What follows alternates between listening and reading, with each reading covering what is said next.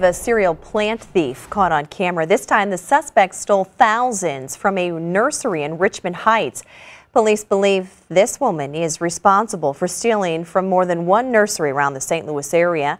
News 4's Emma Hogue spoke with a woman who says her nursery was hit by the same woman last year.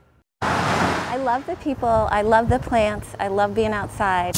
What Sandy Richter calls the perks of owning a small gardening business.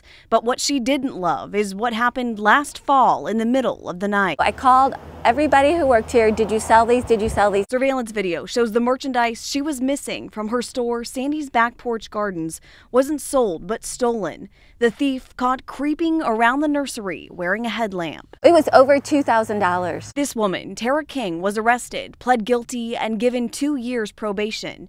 News 4 found out King pled guilty to another theft committed in February and put on probation for another two years. You never know when she's going to be back. Tonight, police believe the same thief struck again just last month.